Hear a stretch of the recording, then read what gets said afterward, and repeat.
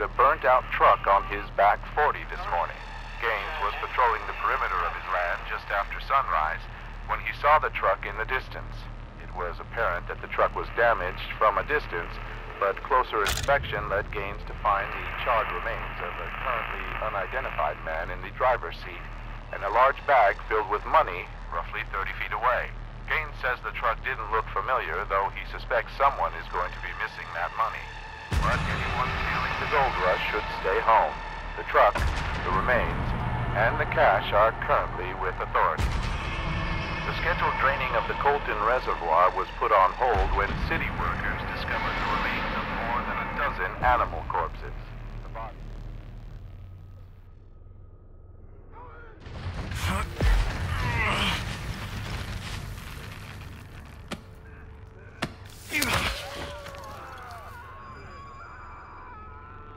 God, I hope the others are okay.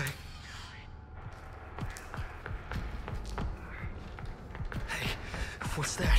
Quiet.